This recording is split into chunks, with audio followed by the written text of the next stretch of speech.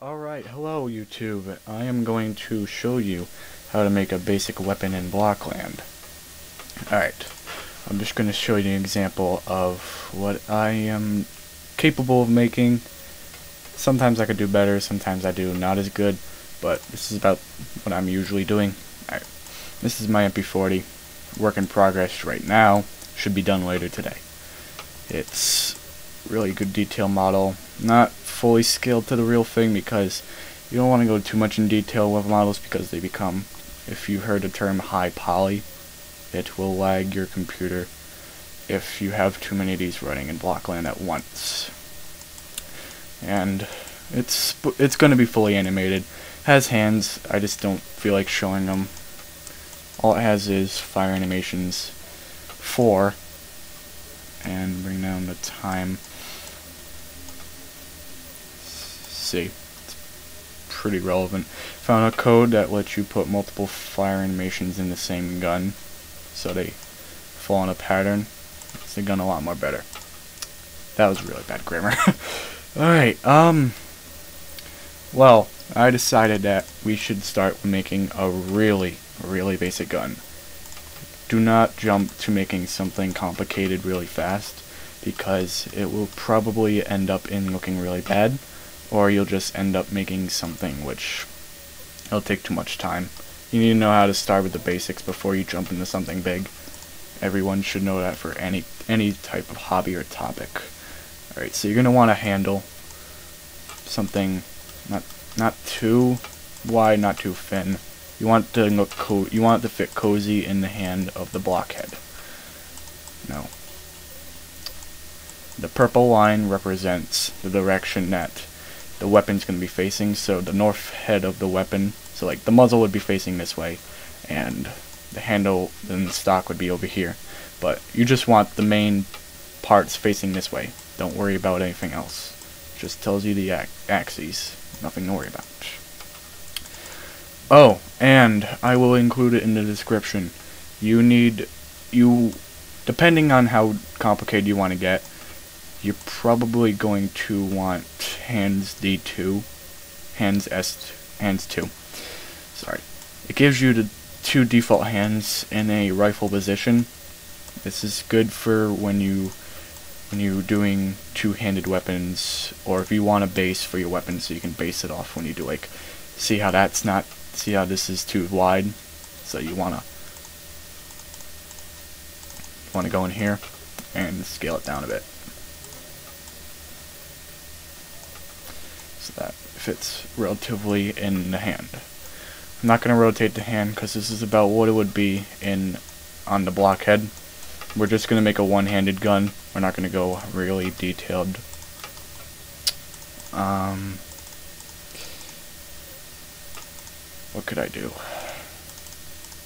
Okay, this is gonna this is gonna require some now. This is gonna require knowledge of Milkshape.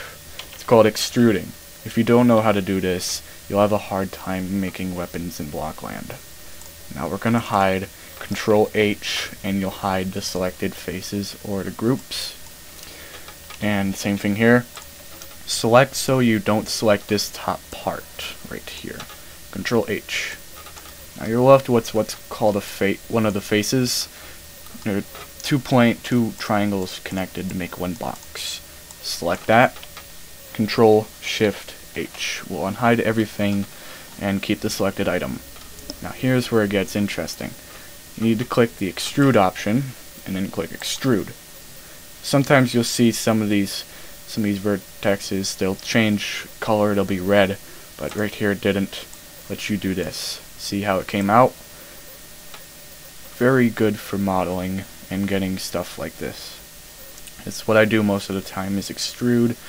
And this is part of what you'll be doing for um, bullet, like the muzzles. You you see through inside.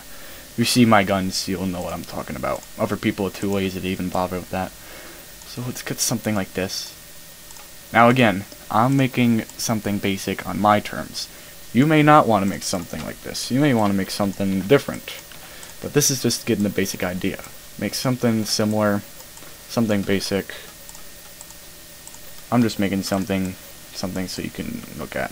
It's not gonna be anything. Look, It's not gonna be anything good. Do not post this on the forums. You'll be flamed. And a quick um, flat shading fix. If you go to Tools, Tile Texture Mapper, and you click Cancel, it refreshes all these and it makes it look better for for personal purposes. You may not want to do it. It depends on you. Now we're just gonna do some more extruding. Bring this out more. Now here comes some more interesting parts. Let's say you want the, uh, the muzzle part. We'll take this, rotate it a bit.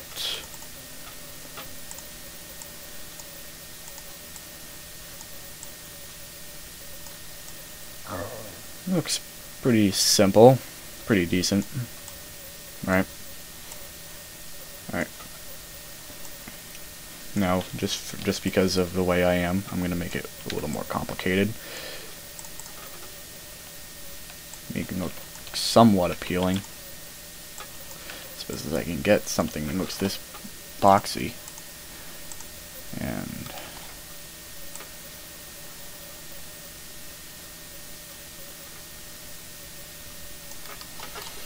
you want to match up. I do a lot of physical manual um physical stuff. I do all the dragging by myself. So sometimes things not by might not be precise until I overlook it a second time. So something like that, maybe.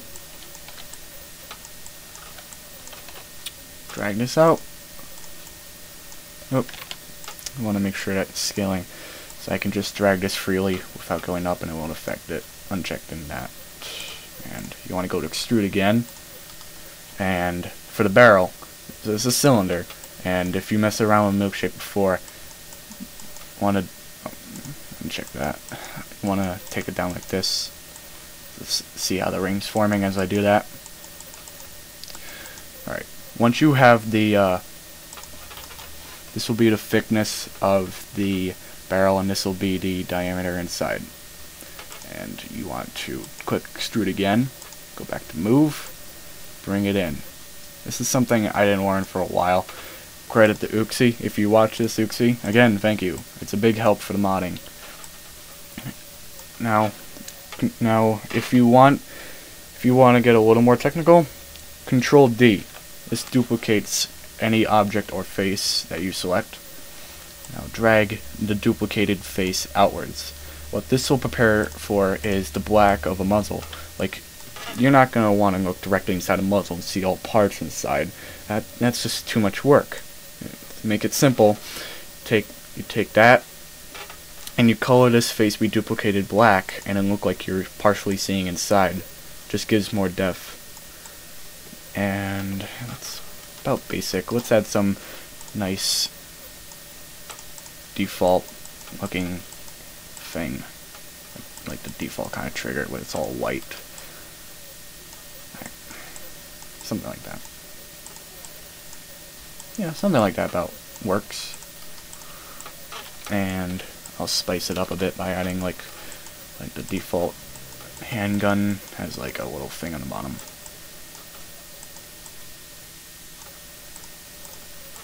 Something like something like that. We're not gonna get that bad. Basic understanding. Alright. So we have a gun.